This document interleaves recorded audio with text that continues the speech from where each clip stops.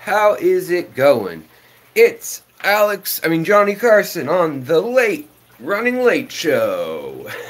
What's up? So uh, we had to get, um, or rather, my wife had to get a new TV, and um, so today I was waiting around, and we got this TV that I am not worthy of. She returned an old one and got this one. So we have a big TV now. Um, so what's everybody up to? How's it going? Uh, I know I usually stream at 4:30, but like I said, uh, the guys actually came and they were like installing it because she got some like maintenance warranty package thing, and was able to do that. But now I'm here and you're here and we're all here together. And I hope everybody's having an excellent Friday, or if you're in Australia, Saturday. Uh, hope it's going well. So, what is going on? Hey, almost early. yeah, almost. So, I've got a special treat here Dr. Pepper cream soda. You're gonna love that. Um, I also have a treat for y'all, which is mm, mm, mm, some stuff to feed some different critters. Um, you know, actually, I tried to collect these, and right now we don't have a very good uh, showing. There's not a whole lot out there. So, I figured I'd give you guys an update on this tank, and I also decided that I'm going to enter Heiko Bleher's um, Biotope contest. So there's that. That's kind of fun.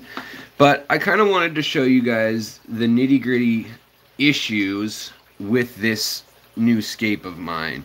If you guys have anybody, anything, any subject you want to talk about, feel free. And if you're trying to address me at symbol and my name or at the secret history living in your aquarium would be great. Anthony the Aquaman, well, welcome to the channel. Welcome to the stream, buddy. Um, I hope you feel right at home. Let's turn around and look at some fish, even if they're not from the song. Hey, look, the bent the bent spine loach is out. So, what's wrong with this loach? Why is he so bent? Why is he flirting with a Siamese algae eater like they're going to have babies together? Well, I don't know the answer to the second part of that question, but the first part of the question about the bent spine is all the males of this species from Lake Inle have a bent spine. And that lake was an isolated lake through evolution. Hey, here's his lady. That's that's why he was showing off he was uh, he was trying to make eyes at the lady in the tank. We'll we'll get her to move. Hold on, I'll put the toothbrush in here. Oh, she moved, but oh, she's so quick. And uh, they're really fun little fish. I like those loaches a lot. Um, they come out more at night, but they're kind of similar to pandagarras in the way they behave. Like them a lot, and uh, the it's not like guppies with the bent spine actually. It's that they have some gene that they had a bent spine 100,000 years ago or whenever. And apparently it just wasn't an issue um, for them in that lake. There aren't a whole lot of predators. Now you guys probably notice a little something going on. Uh, hey right on lady diane. You're following me around? Um, or maybe you're following craig around. I don't know. But you know, a fish that never gets talked about in our hobby, I feel like, are these gouramis, and they're called thick-lipped gouramis, and this is full grown. Uh, this is full grown. They're awesome little fish, and they they kind of change colors. Um, let's let's turn the setting on this light all the way up. I'm um, all the way up, all the way up. That's so it'll stop strobing on us. Um, and uh, yeah, with guppies, you definitely don't want to spread the bent gene. However, with these fish, there is no group of them that doesn't have that gene because they only exist in that lake. Um, and they get around just fine. It's not like a calcium deficiency or anything. It's just like a weird defect that evolutionarily, I guess, God or, you know, Mother Nature was like, oh, no, it's, it's all good. Let's just leave it like that. Um, but I've started ripping out the Monte Carlo, which definitely caused nitrates to, to pile up quicker. So I need to be doing water changes like daily right now. And the other thing is, you guys can see all this algae. This is all because all these plants are the first round of growth. And um, they're really growing quickly. Like, I can clean a surface of algae in this tank and have it back in 24 to 48 hours this much algae like i just cleaned out this corner and i and i can get you know gobs of algae off of it and what i've been doing with that algae is taking it and putting it in the ponds outside so that there is some food for my Daphnia and uh, also for the little critters uh, known as Cyclops. And, uh, you know, I could nuke this with Excel or something like that, but uh, like Flourish Excel, and that would melt away all of the algae, but it wouldn't take care of my my problem of the fact that I have too much of bio load in here. Not in fish terms, but in just terms of we used a lot of tissue culture in here. You can see a lot of the, the, the plants are doing well, but some of them are also dying. And when they die like that, they release all sorts of things, including carbonic acid and nitric acid and tannins and all sorts of stuff and when that builds up in the water, it's super, super uh, tempting for the algae then to come in. Now, what I wanted to show you guys is that the erythromicrons are in here, even though they're hiding back there in the tall plants. There's one right there. Here he comes. Um, here he comes again. Actually, that's a female. Um, and they're so, so notorious for having a bent spine. Uh, but hopefully this group doesn't. So far, I haven't seen any of that. Uh, or getting the big hunchback, and then also, um, do I remove any loose leaves? Yeah, any leaves I see like this one back here, uh, I'll try to remove.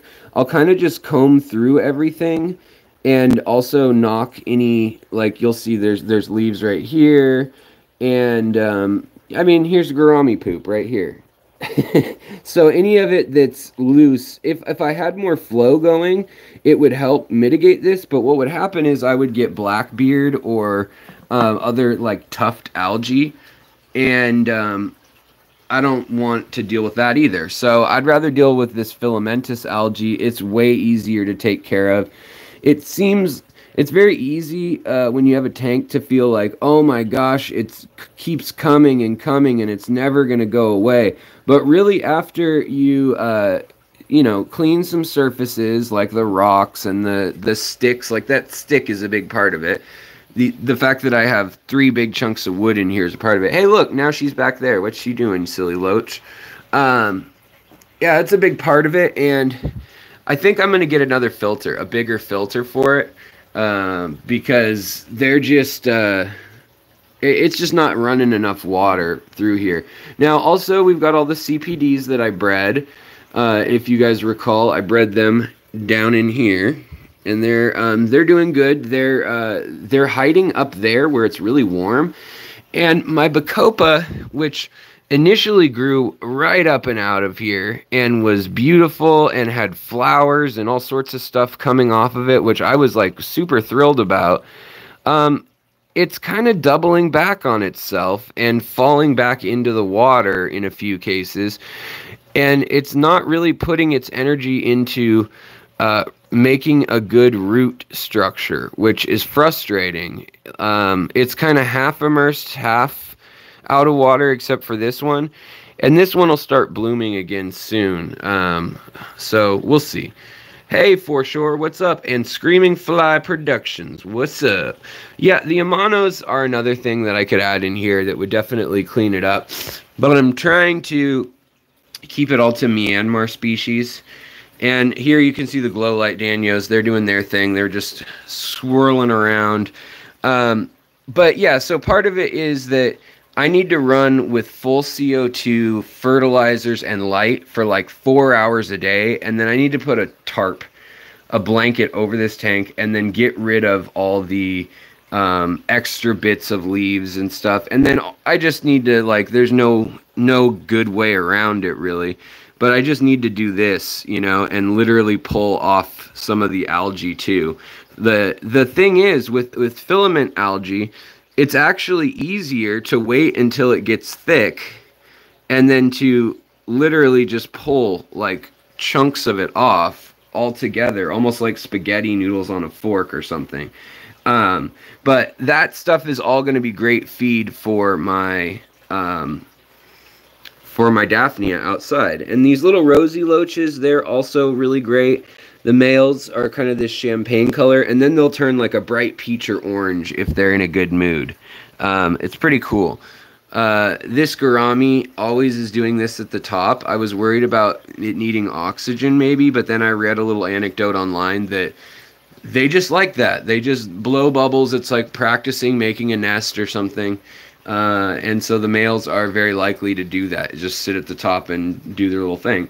Um, so that's kind of the drill with here. And then, like I said, I'm getting rid of the last bits of Monte Carlo out of here. I was going to try to do a carpet with it, and it was actually working pretty well. But, you know, it's a biotope, and Monte Carlo is from the Caribbean and also uh, South America and Central America. So it doesn't really make sense to be in here. It just looks cool.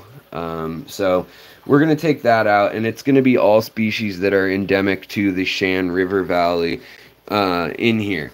And again, here's that big old female loach. I wish you could see how red her tail is.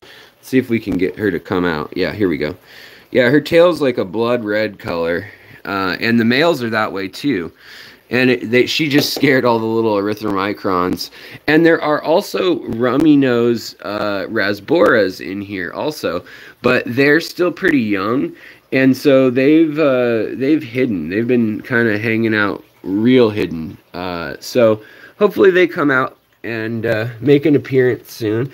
I also wanted to uh, kind of update you on some of the uh, rare epistos that I've got at the moment, as well as the fact that I moved this whole uh, over half of the school of the glow lights. I moved them down here, uh, and this is a tank with no filter. The heater's not on right now.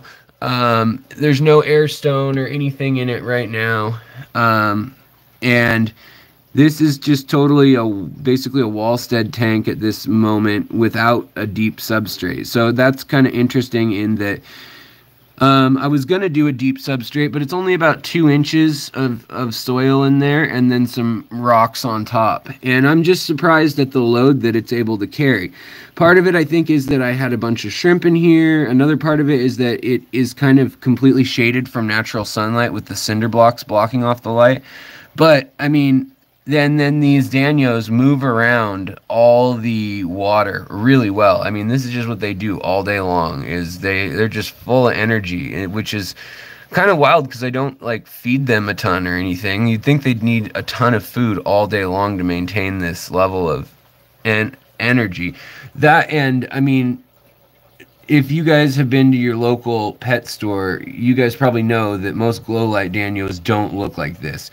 These are the, the ones from the Czech Republic that were straight out of uh, a wild collection point and um, just look really beautiful. Uh, oh, nice. Uh, your average fish keeper, you say your, uh, your daughter's tank has a Bacopa out of it six inches. That's great. It has that beautiful, like, little purple or blue or white or yellow, depends on the species, uh, flower. And usually it's a soft little blue one that looks great. Um, so let's see here. Angie McGee, I got a Botia Zebra Loach the other day. Yeah, those are cool. Uh, those are really cool. I'm thinking about kind of, um, yeah, grow grow them immersed, your average fish keeper. They're great. Um, they're really pretty when immersed. Um, let's see here. I'm getting my sleeve wet. Wow, I'm way behind, aren't I? Um, Craig, what's up? What did I miss? Oh, thanks, man. Oh, you just spelled my name wrong. That's all. Uh, so in any case, this tank, um, we've got some cool apistos in here. Their color isn't showing as bright, but I can post some pictures of it. You can see like the camera does weird things with the light.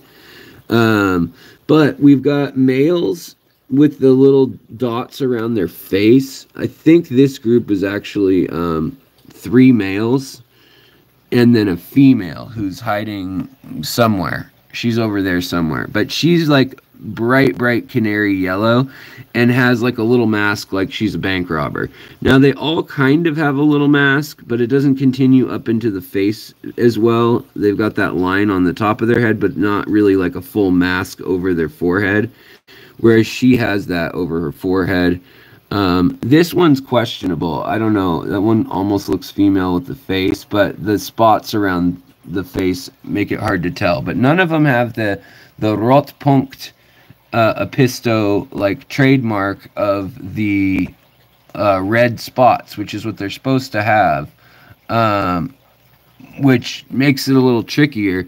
Um, I kind of wonder what collection point they're from or what the deal is, but some of them are getting really yellow and metallic blue. It's just really hard to see on on camera uh, unless you get the light just right, and then it's really cool because they've got these orange eyes uh, and this like powder blue metallic body, and then uh, black a black stripe on their little mohawk of a dorsal fin. So they're um, they're a fun one, but you know they have super quickly eaten all my shrimp. And I mean like all my shrimp that were in here. There were literally 150 to 200 Malawa shrimp in here and I don't even see one anymore. And they've only been here what a week and a half or something. So uh, I, there's that. Also, they've got these cool iridescent spots on their um, on their anal fin uh, that are just like they're like iridescent, but they're also clear, so it reflects light that comes through it really well. It's kind of interesting. So like this one doesn't have it. I think I think this is the female actually. Um, with the she's got a little line on her forehead. It's kind of hard to see here. Um, I'm trying to see if is there something up with the camera that that um, is making things less. Um, can you point out a few plants that would be endemic to India? Um, like pea puffer country. Yeah, totally, man. Um, uh, I definitely can. So, um, oh, there's the big female. She's right there. She's big yellow, got a big black stripe on her eye. Anyhow, um, so plants native to Kerala, India, you're gonna have a lot of the indica, um, and also Bangladesh. Uh, you're gonna have the these these plants here, this Rotala, Rotala Bangladesh, which is kind of like a soft purple or violet underneath the leaves, real subtle, kind of metallic almost, color changing, and then green leaves. And then actually, uh, Crypt spiralis is one that can be found in southern India uh, as well as the Bangladeshi border, which uh, that's a big range, I know. But uh, and then all these uh, Macrandra uh, and Indica rotalas are all actually found there too. So you've got all these um, Eni E N I E that have little thread needles. They're found uh, in that general region of the world.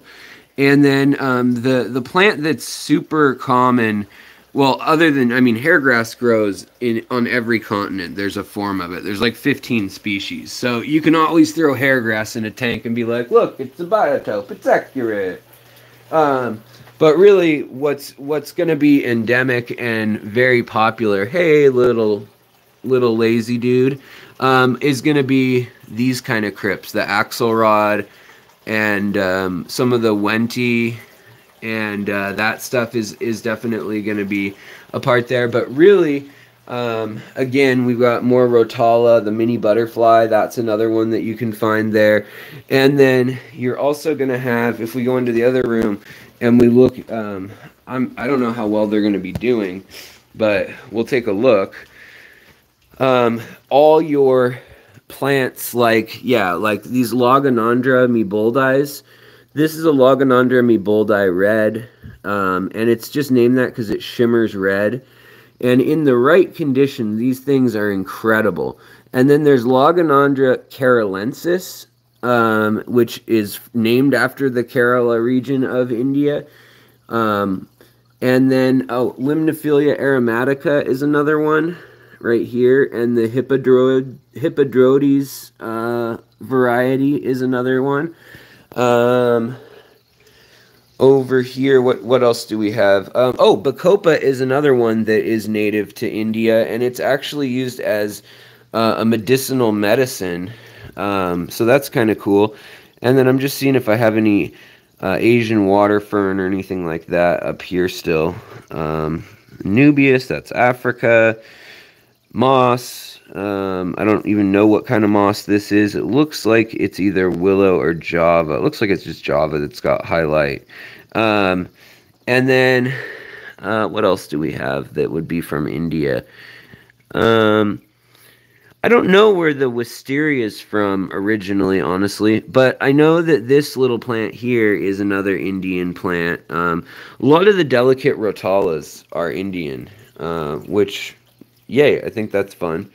But yeah, um, India has a lot of selection of these broader leafed uh. Um, of course, my favorite plant in the entire aquarium. Get out of this corner, guys. Ow. He literally got me with his spike. Get out of the corner, guys. Come on. I don't know why they're huddled up there. It's and I gotta move this heater, which you know they sent me a heater and it works great as a heater, but this thing is freaking huge. Like you would need a real big tank to need this heater, this size and layout and everything. I don't think I'm gonna give it like a good rating. Um, I don't know. I'm giving it time just because I, I, like to see how things work, and it's got this like alert feature in case it stops working or gets too hot.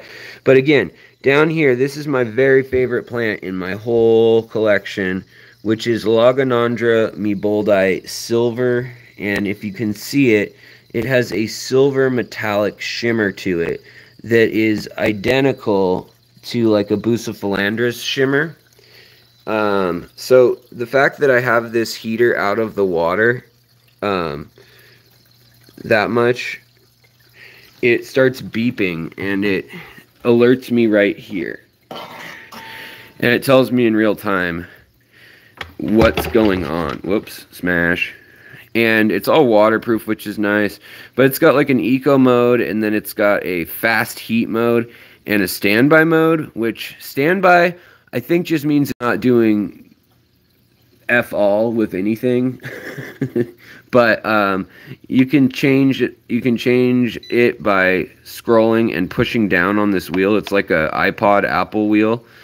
Um, and when you do that, if it if it was doing uh, forget all mode, then uh, you can put it into fast heat and it'll heat up real hot.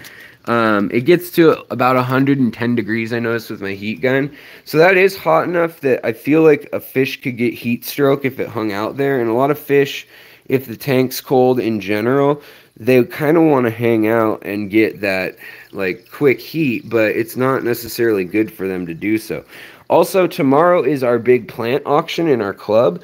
And so um, I'm going with a couple people to the plant auction and this is all plants that are going to get cut for the the auction. So they're all going to get cut down to like here. And it's pretty much solid plants all the way back there. This tank is pretty much solid plants. Um, they're going to have to learn to live with the duckweed, though, if they want my plants. Um, so there's that. Okay let me try to catch up with the chat and see what I've been neglecting. Not all variant, uh, variants locations of Allocrina pistos get the red dots. The name comes from the first one they found. It had red dots in between the scales. Hey, thanks, Mick. I really appreciate that, buddy. Uh, I can always count on you to give me the good info on uh, uh, uh the Apistos and dwarf cichlids and stuff. Okay, so Let's take a look at the, uh, not at my mouth and my janky teeth. let's take a look at the other ones. I think this is a female. Mick, correct me if I'm wrong. I would love to know. Um, and then I think this is a male. They have these cute little bulgy eyes. These are the um, kaites, and I really like them. This female is real aggressive, if that's what it is, though. She's a real aggressive go-getter. Uh, this one has spangling by the face um, of iridescence, and then its fin, it has red uh, dots and um, a little bit of yellow on the tip. And then they all have yellow and blue, beautiful little um, paired fins and anal fin. Here we got a good example um, of I think a female maybe. Um, it, I mean, I, my guess at first was male, but the rounded head makes me wonder if it's a female here too because um, she's she's kind of got the mask and she's kind of doing the all yellow thing. But this is one where the females don't actually turn that different than the males. Like they they don't yellow up way different than the the males do, which makes it um, even harder for me to understand what in the heck is going on in my tank. Um, okay, Mick says this is why all the new incoming wild Allocrina types are called uh, CF Allocrina. Uh, CF is Latin for similar to, and species affinity um, is probably or vice versa. Yeah, awesome. Um, let's see here. Uh, Angie says, out of all the fish you've been keeping at the moment, do you have a favorite? Mine are my chocolate gouramis, just babies, so cute and curious. Um, you know, I, it's a that's a hard one. Uh, it changes from time to time for me, um, but I do really like. I, I yeah, I honestly do really like mine. Uh, my uh, Valenti uh, gouramis, these guys, the the females are super pretty with rainbows on them and then the males are also still really pretty with like a burgundy and blue piping on them that that's neat. Um i still always will love and i will always love my little gobies. They're getting old though. They only live two or three years usually and i'm worried that they're at the end of their line. Um, see this female? Again, like pretty much monthly. They're super fat and ready to have babies, uh, and it's just so sad because they have their milk. They put their egg out into the world, and it just becomes little lost dreams floating like slime in the tank. Okay, did I make that? I was gonna make it like touching, and then I made it gross. Um, but I also love this fish, uh, very interesting. The Enigmatochromis lucanusi. Uh, this is the female, and she moves in the. She moves in mysterious ways. She moves like upside down and like contorts herself to eat algae and bugs out of weird areas on in the tank. And then her male um, pair, he is real stoic and just kind of ambush predator. Uh, he'll eat anything that swims by, but to the point where it's almost a problem because he won't go get food very frequently, which is a little frustrating. Like I, I could see him starving over guarding the nest, where she is not that loyal. She'll go and get food. But right now they're not in their spawning colors. If you guys have been lucky enough to see these fish in their spawning colors, you'll know she turns like electric blue and purple, and it's just beautiful. Um, this is another interesting plant that I have, and I actually need some help identifying it. This is supposedly a crypt, but it has this crazy rhizome that looks like a grub, and I don't know what it is. It was given to me as quote unquote a real rare crypt, bro, uh, by an old store I used to work for. Um, and I didn't at the time. I figured, oh, I know most of the crypts, so I'll just okay, cool. And then I realized, wow, I have no idea what that crypt is. Uh, let's see here. Let me get down where you guys are. Um, can you put electric blue cars with kribensis? Yeah, you can. They're not well, cars having babies might be an issue. Um, uh, If she would already be guarding the eggs, she'd be yellow and show a belly to the male, weakness to trigger the male to help defend the territory. Oh, interesting. Um, Mick, yep, female. Okay, cool. Um, I appreciate it, Mick. Yeah, she's. I think she might actually kind of be thinking about this as her as her territory because we've got um, there's actually two females that hang around, but she's real defensive of that territory, uh, and I'm trying to like whittle it down to like what makes them different. But I'm noticing that the pectoral fins or the paired fins, I guess they're not pectoral, they're um, pelvic fins, I guess. Um, they're uh, they're black on, I think the females, and whereas the males not so much. Uh, and then the males seem to have like a red color on the top of their crest or their dorsal fin. Uh, but it's really hard to tell because they color up all different ways. This one looks like, oh, very female-esque body. And this one looks like, oh, very male-esque body. But some of them are a lot more ambiguous. That seems like a female body. Um, that seems like a male body, but then I'm like, well, is that a female? Mick, is this a female right here? Um, right, I, I assume with the face banding, that, I mean, in other species, I would assume female. But then it's got the, like, the braveness and the audacity of a male. So that is what's confusing me about these kaites. Looks like one male, three females. Yep, female. Okay, all right, cool. So, all right, thanks. I'm getting better at the Apisto game. Uh, so, the other thing I moved was the kribensis. If you saw my uh, bloodworm collecting and feeding video, uh, you know that the kribensis are in here. This is a man-made uh, um, variety that is called uh, the white kribensis. It's just the Nigerian red, but they've um, bred them so that like some of the upper regions, instead of being like canary yellow, they're more of a like white or cream color.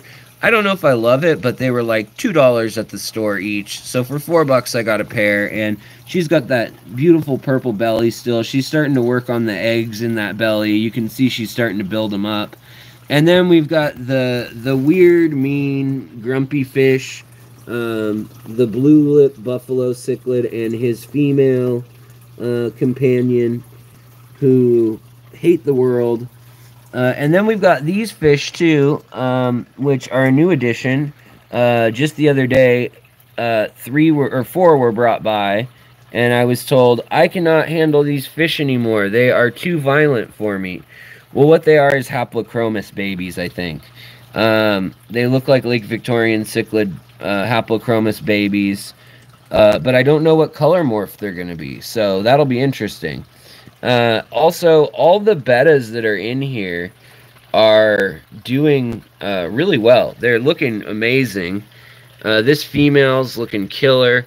Um, this this one uh, started getting the. I thought it was a disease at first, but it's black lines on the fins on the on the um, pectoral fins and it got a chunk taken out of its tail uh, literally when i was making that bloodworm video like look at that doesn't that look like some sort of like fungal growth coming out of the gills don't love that um, and that one had no color markings until a year and a half old um, so there's that uh, and then the other bettas in here there's nine in total they're all just kind of going around to different spots, hanging out by the, the, the lily and stuff like that. Um, Street Trash, welcome.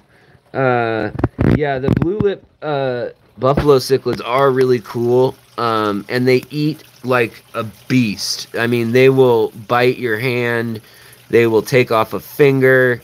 Uh, be careful. But yeah, this female, I can't wait to breed her with um, you know, we've got a few in here. There's a few that I can't tell for sure. I'm assuming female also. But um, I want to cross. Oh, here comes the little amigos uh, coming out of the dark. And then also we've got the fire barbs. So if anybody's ever curious, these are a great little barb, and they can turn like almost like a blood red to a very very bright orange kind of color, and um, then they're this color in the off when they're not just going crazy about something. Uh, oh, and here comes another two amigos. Maybe I have five. Am I losing my mind? Or did one just dart around to the other side? Uh, but in any case, so yeah, and then you've also got the uh, um, the lovely catfish. I love these guys. The uh, cuckoos, uh, or the Petricola synodontis. Uh, actually, is that the cuckoo? I don't remember. It's a Petricola synodontis is the Latin name. I forget their common name off the top of my head. If it if it's the up, it's not the fully upside down one, but there's a few common names, and I always get them confused. Um, the short no pattern dorsal plus anal fins and black short pelvic fins. Less shimmer on the gills often indicates female. Apisto. Males are rarely yellow. Okay, yeah, that helps a lot. Thank you, Mick. M. Um, Zen Plant Man, what's going on, my friend? Uh, keep on keeping on. I'm working on it. I'm working on it. Uh, let's see here. So, Angie says my female and male cribs have been breeding have breeding colors for months. She's super pink and fat belly, but no babies ever. I feed foods three times a week and still nothing. In with Congo and Diamond Tetras uh, and Angels. Um, you know, it could be snails. That's what I have a problem with sometimes in these tanks. And you can see the way the fish have actually gotten very smart. This big male here figured out that the snails, he can keep track of them all crossing the glass. So I was wondering why he excavated all the glass around their cave, or her cave. It's all for her. Um, and it's so, I mean, he moved a mountain of sand so that he could watch out for the Malaysian trumpet snails. And at night, he'll literally grab them one by one with his mouth and just like drop them over like yonder, like get them out of there. And I, I think that it's because they threaten eating the, the, the babies, the, the eggs. And then, like I said, this, um, not this male, but the male who's under this little fake rock hut. This is the only real fake stuff I have in any tank. This and that fake rock there. Um, but the the there's a big male under this rock, and I think he has fry. Uh, he's the one who was paired off with her, and in the last live stream, you could see a few fry coming out of his mouth, and then to which the guy who hooked me up with these uh, told me, well, they don't mouth brood that we know of, like that anybody knows of. But then again, these guys are very, very new. Uh, the blue lip variety are very new, so it, we don't really know a whole lot about them. So I need to document the fact that they had them in their mouth. I was trying to get a picture. Um, but they do have a big old head and mouth that would make sense that they could store them in there for, for quick getaways and so forth. Um, also, uh, let's see, we've got updates going on. My other erythromicrons, uh, some of them had bent spines and stuff, so I put them in here just to get them away from, like, any CPD or erythromicron that had issues. I put them in with all these rasboras, because these rasboras are completely different, and they won't spread, as long as it's not fungal or bacterial, um, they're not going to spread those issues, whatever that wasting disease is that is going around. Um, and basically, uh, it's a bummer, but I have to just wait and see which ones are gonna make it. Um, as far as the the Danio, Danio species, the the CPD and the um, erythromicron, but they're real pretty in here. Um, if we can find them, I mean, they hide very well. Um, and also the gold tetras are in here too. Uh, they're hanging out down there towards the back.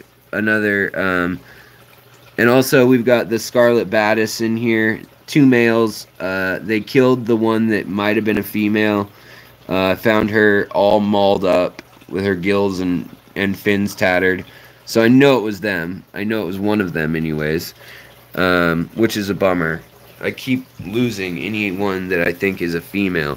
And then uh, these shrimp that Grant sent me, working out super well, super super um,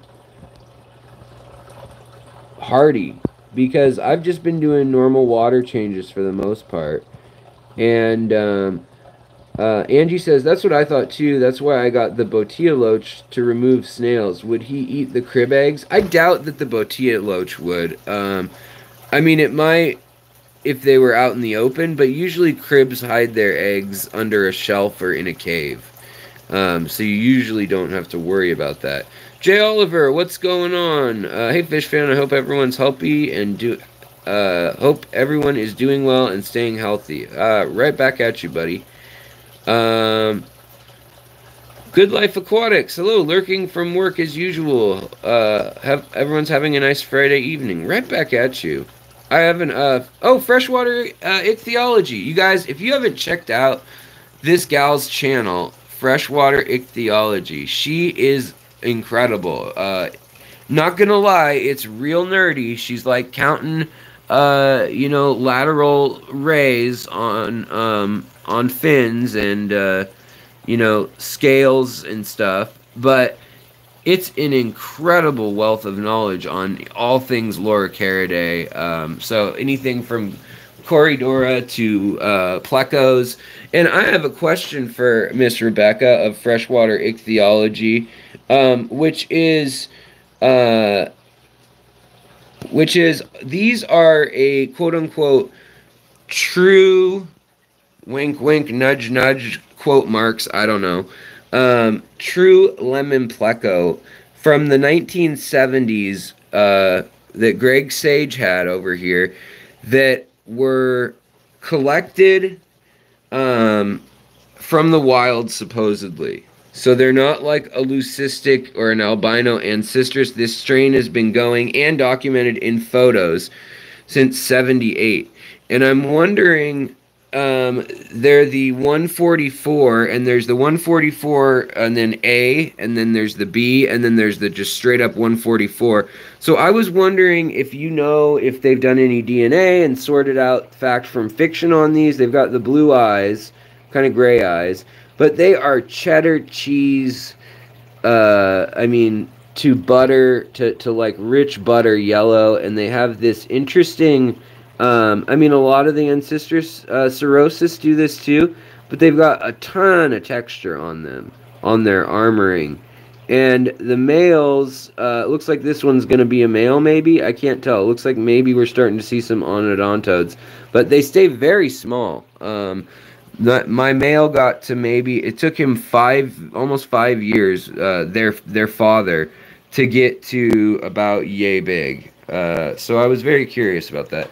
Valmoda, what's up? How's it going? Um, pair of blue lips got from a place you told me have already spawned, and they're they do the whole mouth brooding thing thing going. Oh, right on. That's awesome to hear uh, that the blue lip buffalo cichlid. You got some at the wet spot, huh? Oh, I'm so happy to hear that, Val. And if you've seen them mouth brooding also, then that totally, I mean, then I believe it 100%. Because there's only been one guy who works at the place that has bred them other than my, my buddy Lawrence. And Lawrence doesn't really pay attention to them breeding. Hey, look at these guys are going to have a showdown. Um,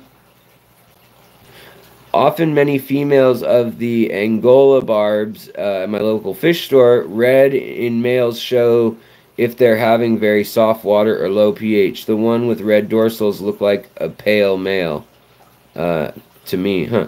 Oh, interesting. Um,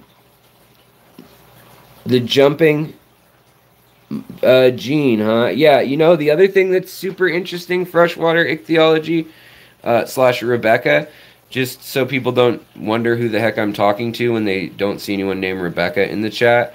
Um, you know, the other really cool thing is that they found that gender is independent. It's a floating gene in bettas, or, or rather, sex, not gender. Their gender is floats all over the place because sometimes they pretend to be, you know, uh, dominant males, subdominant males, females that are acting like males. You got all sorts of crazy things going on. It's like a friggin' David Bowie retrospective to look at a, a group of bettas and what they're up to that way. But um, Oh, these guys have been so great, by the way. These these red caps from Aquatic Arts, they are just friggin' the best rice fish I've ever had as far as output, and they're just beautiful. Um, but uh, here I'll show you. I've had, um, and I'll talk about the betta gene again in a sec. Um, I've had a bunch of eggs come out. Looks like one fungus up in there. It's kind of hard to see the others, but there's a whole cluster of about 20, and I've had three of the se uh, seven in there three every day that I've had them since day two have um, been been uh, laying eggs or, or bringing eggs to the party. And so I've also collected them and been keeping them in this little critter keeper in here. Uh, that's one spawn today. I mean, look at how prolific she was. 1, 2, 3, 4, 5, 6, 7, 8, 9, 10, 11, 12, 13, 14, 15, 16, 17, 18 eggs uh, plus the one up top, so 19 eggs, all in one little spawn. Um, pretty crazy, uh, pretty crazy, yeah.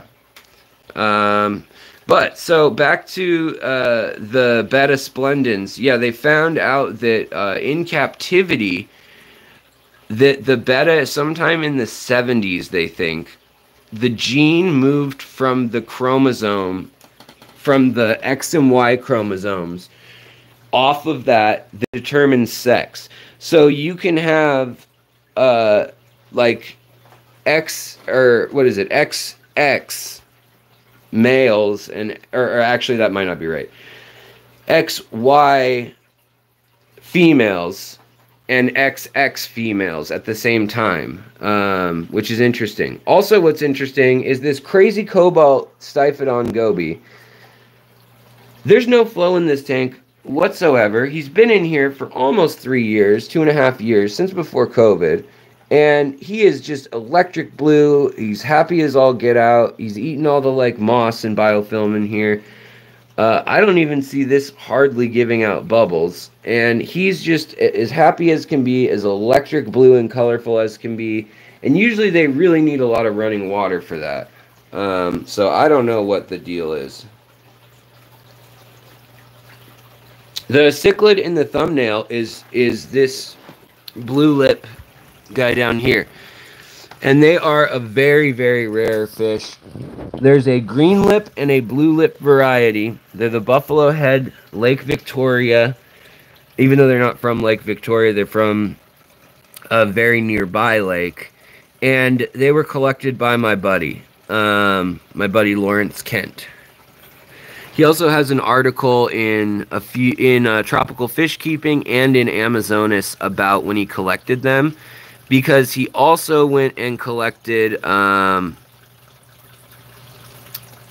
and yeah, they're not. That's the interesting thing, uh, is that uh, they're not a lumphead cichlid from West Africa. They're actually from right down in uh, by Lake Victoria, um, like uh, the I think it's what is it? The Volta River off the Congo down by Lake Victoria. They're in between that river and they were in some flooded area uh, on one of the lakes. Um, and then these guys came with them from the same collection trip. And right now the mat's so dark up here, and I know reflections are bad, but we can take a look at my Haplochromis enigmatochromis uh, here's the female that's the dominant. She's uh, yellow and green with metallic blues. And then the male is every color of the rainbow with red as his primary. But when he gets worked up, like when I do a big water change or whatnot, he turns such beautiful colors. He he almost looks like a five star general or, or four star general or whatever. Forget the name of that fish now. Um, and they're real shy. Uh, and then this female is like a bluer color when they're when they're um, subdominant. They do that. And then this is my angelfish that was super super mean, Vanity, and she can't be with anybody. So she's in with these mad mad mean cichlids because she can't get along with anybody. She can't play nice with anybody. Nor can this freaking golf ball from hell that I decided to take in when I went and spoke in Portland. Um, here, let's try to get him in the picture. He's beautiful. He's cool. He's got red in the tail, but he's down two feet in the tank, so you're losing the red. Let's bring him up. Let's see if we can get him to come up a bit, and we'll see his colors if he does that. Um, but there we go. Hey, Dr. Anthony. So, um, yeah, that is this thing is a monstrosity. It's a convict cichlid. Uh, it's a it's a um, Honduran red point mixed with a uh, blood parrot, and I got them when they were like the size of a teacup platy. Also, by the way, this nerite snail is going on five years old. It's like four years and some change, and it is big. It's like a it's like a ping pong ball almost if you can see it all the way. Um, but yeah, so this is just a weird assortment tank plus some mean cichlids from Lake Victoria that um, that Lawrence Kent is making me keep as his uh, CYA in case something happens to his. But I've never gotten them to breed. This was a fully planted, beautiful tank. And uh, as soon as I put them in it, when I moved to this house, they literally ripped it down to the studs. They took every plant and just pulled it out just because they could. Here's that female, and you can see she's got like battle wounds on her side because there's another female that's like very uh, neck and neck with her for for dominance, and it's the one that's hiding over there. Look at this guy. He's just a golf ball from hell. I can't handle him anymore. I'm gonna donate him to somebody else who likes crappy fish or something. Who likes? I don't want him spawned though. So even though I have the female, she's actually really small and sweet. Uh, I'm not going to give her away with the male because I don't want more of these things in the community. Uh, as interesting as they are and all that jazz, and I'm not blaming the animal, I'm blaming the person, but they are just monsters. She's okay. I mean, she just can't do that much damage because she's only like an inch and a half long. But the male that I got at the same time, that's her age, is just a total monster. And by the way, I think I pointed this out, but we have a few baby survivors, even though I've never seen them spawn. But we have a few of the Malungu uh, right here. This male must have had them. Uh, there's a few babies in there, and his nest is under this moss, under here. Um,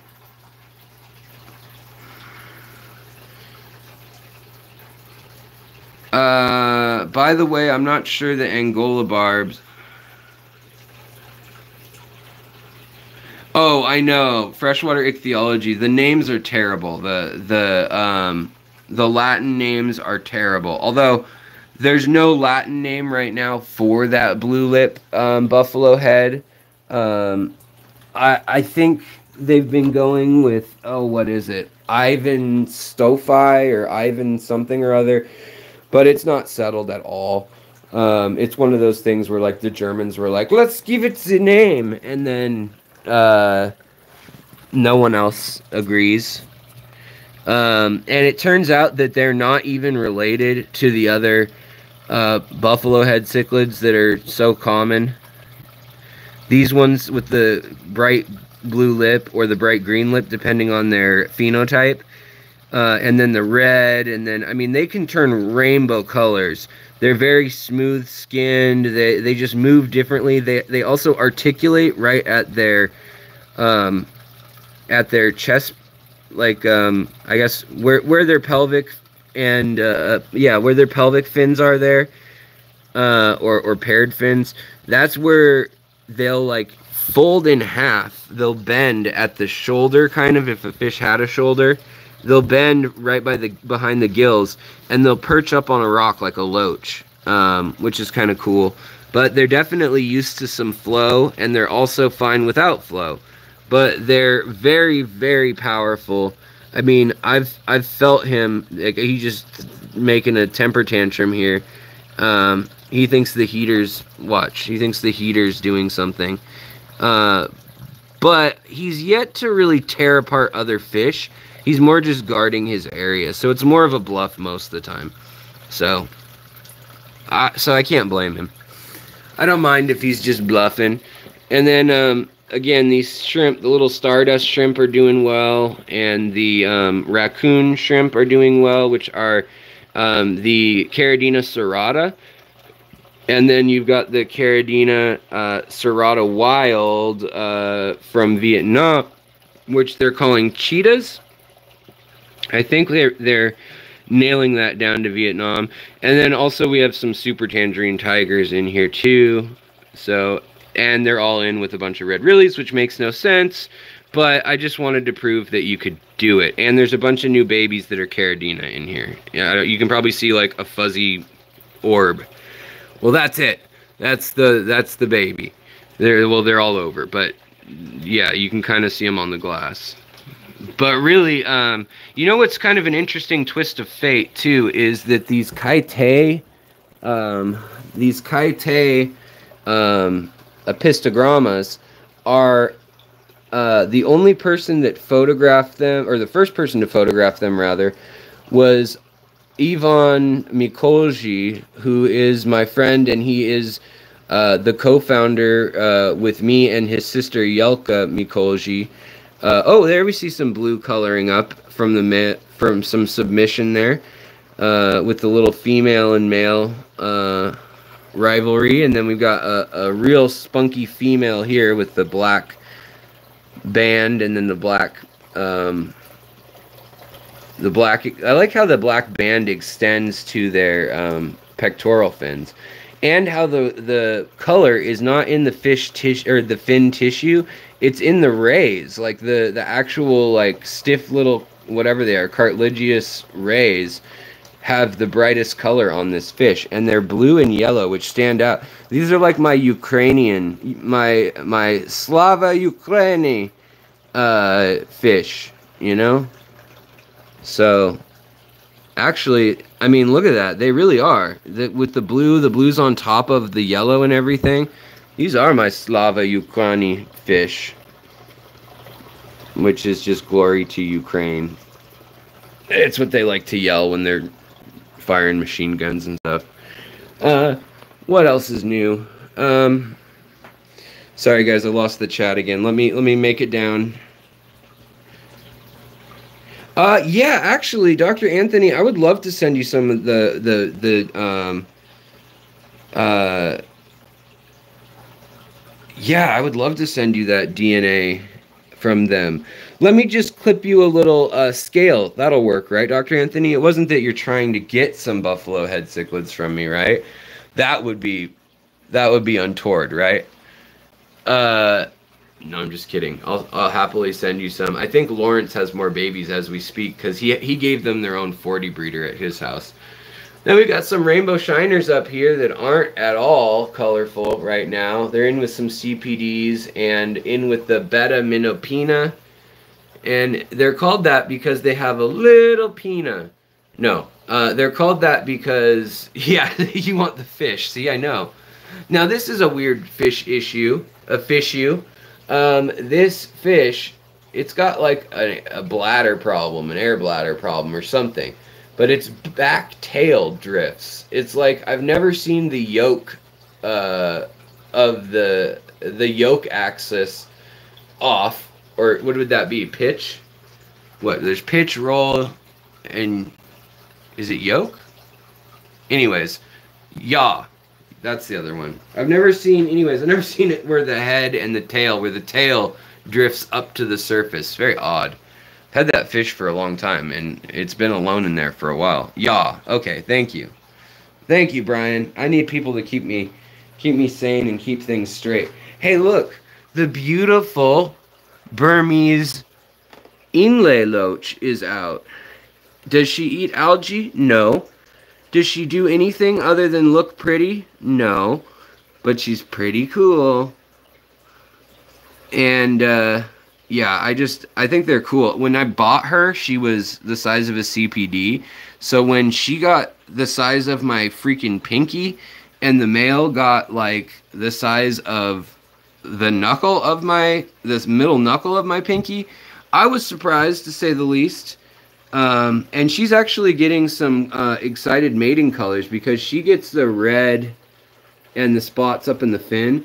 But yeah, they only live in Lake Inle, which is this small lake. Um, it's it's really amazing. And so, same with these thick-lipped gouramis, which I wish these were bigger in the hobby. People need to breed these. I'm gonna try to breed these. They're just beautiful. They look like they're glowing, like little tangerines or like little uh, neon signs. I just love them. Um, and uh, then, of course, CPDs are probably one of everybody's favorite nano fish. And then the erythromicrons with the stripes, which are also known as um, emerald dwarf rasboras. They're not in the rasbora family whatsoever. Don't know why anybody thought they were. They even look like a danio, so I don't know why anybody classified them that initially. Um, and same with the CPD for that matter. They don't look like galaxy rasboras. Silly people. Um, and then we've got the rosy uh, loaches. We've got a lot of algae again. You already heard that spiel. So I gotta clear up the algae in here. The last thing that I was hoping to get is the Gravely Garra, the Garra uh, Gravely or Graveli. I don't know. I think it's Gravely. Um, they're a small, similar to a Pandagara, but spotted, and um, they are another little like semi. They're benthic. They hang out on the bottom and they they hop around. They're a social. Uh, they're kind of like Corydoras of of Myanmar. But again, there's no catfish in that place other than walking catfish, which are highly suspect as being invasive. So I think I'm going to enter the biotope contest. Obviously, I'm going to move the uh, the ancistrus that's in there eating algae. Uh, and I want this all to grow out. May's when you can enter. The Limnophila aromatica and the um, Bacopa monnieri and colorata. I want those to grow up and flower. And then ideally, I was having an Indian sword fern, which does grow into Myanmar and Bangladesh and right up into the Shan Mountains. Um, up the Irrawaddy River is how I think it spread, or rather down it. I was going to mount that on this piece of wood coming up and out, but I don't know the plan anymore. I might make a little shelf and have something coming out there. And then I want to, like I said, up the filter. a 30 gallon filter for a 26 gallon tank. It's a 30 to 40 gallon rated filter, and it's not enough. Um, it, it, either needs to be dead center, which aesthetically I don't really like, um, or I need to mount it on the end and have it flow the lengthwise because that would be more natural to like the streams that trickle around Lake Inle. Um, another update that I guess I haven't given in a while, other than these guys, they're all fat and sassy and, and crazy, crazy kids uh, the Lake Turkana jewel cichlids from Ethiopia. And then, um, let's see here. Wow, you've never seen an Apisto kaite in real life, huh? Yeah, it's it's interesting. Um, it's an interesting one. Uh, the fact that they don't have the color, um, that they don't have the sexual dimorphism uh, delineated the same way as all the other, well, not all the other, but most of the other apistos is kind of interesting too. So in here, here's my Malawa shrimp colony that's doing okay still. But in here, we've also got, there needs to be more room. So I feel like I want to kind of switch spots and put my, um, these are really great though. These are these Thai uh, multi-barred border loaches. I forget their Latin name off the top of my head. They're a real new species again, uh, but I love them, and they're spawning in my tank. Um, they have been for the last year and a half, and I don't know why. I don't know where. I'll just get extras that are small every once in a while. Um, but up here in the uh, Javanese slash Borneo tank, um, or Malaysian uh, archipelago tank, there's there's some interesting stuff going on other than the cories. Pretend the cories aren't in here, uh, and the ember tetras. Forget they're not here. Forget they're here too. but um, the shrimp are right. The uh, the glow lights are right, and the uh, purple glow lights are man-made, but they're same species. Uh, the little barbs are right, and then um, where are my? Oh, here they are. The the largest betta species, the macrostoma, I've got those fry, and if you guys remember, if you guys have watched along with me, they were like less than a quarter inch when I got them, and I had to keep them completely alone up here. Ooh, look who came out. This is still, actually, this is probably my favorite fish right now. This is the, uh, what is he called? Acarensis aguarensis, I think is what how you say the Latin. And he's like a, a dwarf Acara variant but he is blue, purple, yellow, and then he's got a weird crimson highlight on his on his tail fin. The female is very washed out compared to him, but still has the same color patterns. And that electric metallic yellow is a very rare thing in the hobby. Usually, yellow is this translucent carotenoid pigment based thing. Um, with the um, probably, I mean, usually it's the uh, ath- Anthetask, Athataskin, I can never say that word right. Athataskin, and look at the eye. It glows with the light at an angle so that it like shimmers out of its eye socket. It's got these big old eyes. It's got Bette Davis eyes. And just the pattern on the fin of the clear it almost looks like Madagascar lace, but it's the fact that it's blue and yellow and purple. Oof, just I love that fish, and it's full grown now. It's a wild caught full grown. Um, and somebody in our club had it and got it brought back from. Um, they went to what? Where was it? Suriname, French Guiana, and a few other places, and they brought it back. Um, and it, it's from Guyana, hence the Acara aguianensis. Uh, and then we've got this little guy who is an Apisto trifasciata, uh, which, you know, they're okay. I'm kind of over him. He's real mean. He gets in fights with the female, and she ripped part of his mohawk off in the center. I watched it happen. Uh, oh, they fought over food, so you know, there's that. Oh, and then all my outdoor pond uh, tubbing fish, uh, the least killies, they're about ready to go out. They can handle the temps now. Um, my different strains, my Endlers and my bell bottom strain that I've been working on for a number of years with the, the checkerboard back fin uh, right here. I'm still having to cull quite a bit of them, uh, but I tried introducing a new gene in this generation, and then there's two other tanks that have a different gene. But check out these culls. They look very wild type, and they're the babies of this guy and that gal Yet they threw that. So they had some recessive uh, Endler genes from when I crossed them in this like years ago. Uh, so uh, Jackson Tax, uh, who's a local fish keeper, that's her screen name. Uh, she actually took them from me four years ago, kept them isolated in a in a barrel in her yard or like a horse trough too, I think. And then she brought me back both of the lineages, and I was able to compare them with my with what I had existing, which was just awesome. Um, hold on, I'm having a mess happen right now. My my uh, this fern, by the way, forget it. Forget this Boston fern. This fern can jump in a fire for all I care. This thing, I've given it everything it could want. It's gotten fish water. It's gotten uh, lights. It's gotten, I mean, it's had lights on both sides of it. It's had a spotlight. It's had red light, blue light, green light, go. And then it's had natural light from the window. And I, I'm just sick of it. It just, it just, it just loses its hair. And um, the other thing is, uh, I was giving a speech at a fish club and this, uh, since this thing is just losing its hair, its husband got up on stage and smacked me and said to keep its name out my mouth. Uh, in any case, I need to talk to it more. I actually don't talk to it. I mean, I know I'm kind of talkative online, but I come in here and I don't say a damn word. Uh, I know they need just the right humidity. I agree. I've had some Boston ferns work out, but in here it's like 80% humidity, well, 60 to 80% humidity uh, with the humidifier usually if I have all the tanks doing their thing. And it still is like, nope, throwing all my leaves on the floor.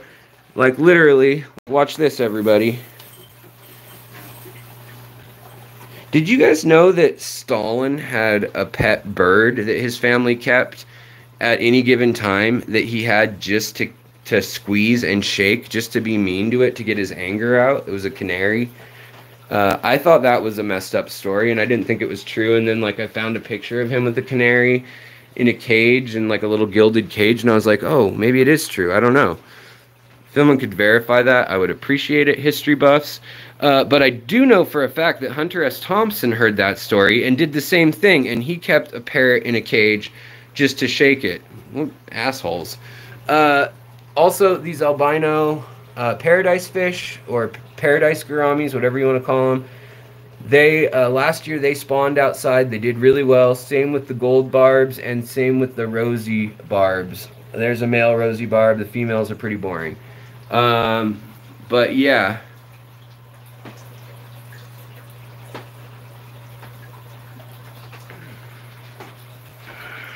Uh, so I'm getting too hot in this fish room. I don't know why I have a hoodie on. That and my wife was talking about Indian food or Thai food. Tindian, Thai and Indian food. Is her car gone? I'm going to be so frustrated if... Yeah, her car's gone. Great. Um, well, I got to get going because I abandoned my wife. I abandoned my son. No, she was all mad about something when I started streaming. And I never got to the bottom of what it was because I'm a terrible husband. Um, let's see here.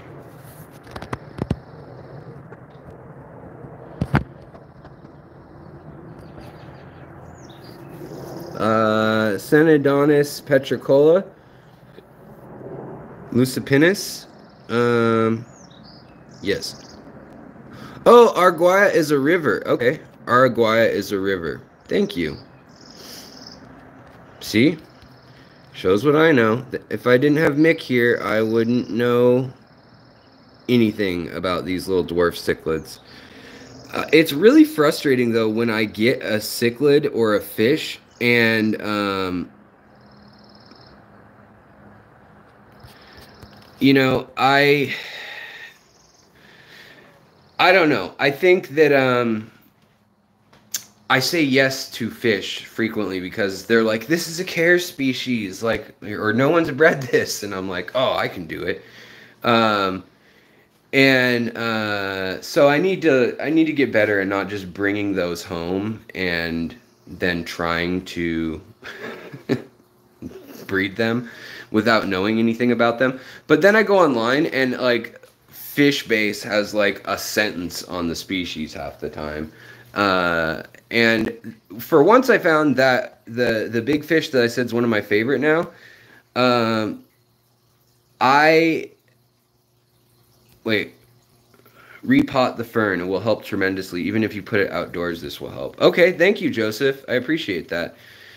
Um, yeah, I mean the thing is, um, with the uh, with that that fish, the acarensis or or whatnot, or, or aguarensis, um, is that um, there's like no info that I could find unless they have another Latin name too. Um, but usually, if I find a Latin name, I can find good info. But in this case, it was like found a Latin name, don't have a common name, can't find any good info. Mm-hmm other than their water conditions, which like that's fine, but that doesn't help me figure anything else out. I mean, I could have probably told you by looking at most fish. I mean, okay, that's a cocky statement, but I bet most people who keep fish a lot would say they have a pretty good guess when they look at a fish what kind of water it comes from, uh, or what continent it comes from. You, there's some that are tricky, but some are just like uh, it's going to be a Rasbora. It's it's going to want a TDS that's a little high and um, a, a, pH that's real low, and a little bit of flow part of the year, cool water part of the year, but mostly hot. And then you know you've got your sl- slender ones that are a little cooler. You got your tetras that are going to be like they want warm water and then cool water to spawn and the whole wet dry season thing and they're going to want low, low TDS and low pH probably to neutral for like rainwater. I don't know. I feel like you, you get a feel for uh, fish, even if you don't know the species. You start to kind of understand, like, oh, these, these body shapes and types probably came from this lineage, or at least they're related in some way, or there's some co, uh, uh, what do you call it, um, convergent evolution. Um, let's see here. Oh, there is no um, Ancistrus species L144 around that variant species look completely different to what we see. All loricariids have onodontoids all over, but larger um, hyper uh, troph- hypertrophied in certain areas. Is that like forked? Um, let's see here. Unless I have the fishes to uh, fish to hand, and they are certain they are wild, I cannot say they aren't common bristlenose blue-eyed. Yeah, um, that's interesting. I mean, I have. I mean, I know that they got them in the wild, but they could still just be a blue-eyed bristlenose that is a wild morph. They're bright cheddar yellow though, so they they look like a leucistic super red almost is what they really look like. Um, so in any case, um, uh, let's see here. Who doesn't want nice fish? Uh, collectoritis is always a risk. The Ar- the Araguaia in the 80s was called the species uh, Buckelkopf, uh, humphead in German. Do a search. Oh, okay, that's really helpful, actually. The Germans usually have good info on fish that we don't. Um, you need it live and preserve, saying, uh, oh, okay.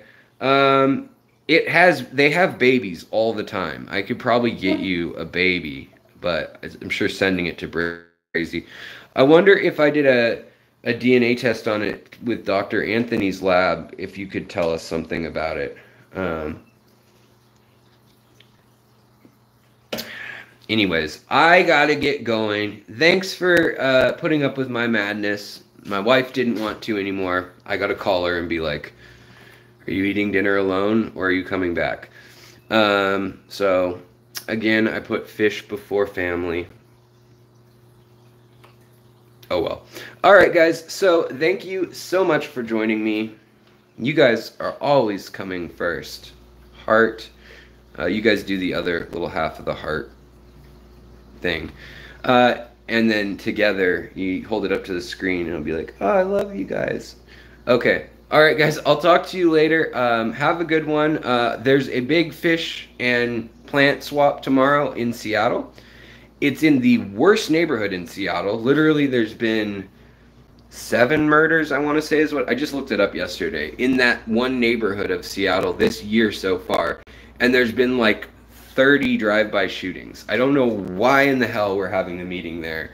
Probably because the Eagles Lodge there was really cheap. Um, I don't know why. Um, but in any case, I'm going to that in an auction and I might stream some of it because our auction a few years ago brought in um, $78,000 in profit for the club alone altogether it was like $146,000 the auction brought in in one day. So we have one of the better uh, auctions in the country in our club. So it should be good. All right, I'm going to get off this stream, smooth things out with my wife. Um, of course, I love her and owe her. I'm just joking around on the stream. But uh, thanks for showing up, guys. I'll talk to you later. Have a wonderful day and uh, keep it fishy.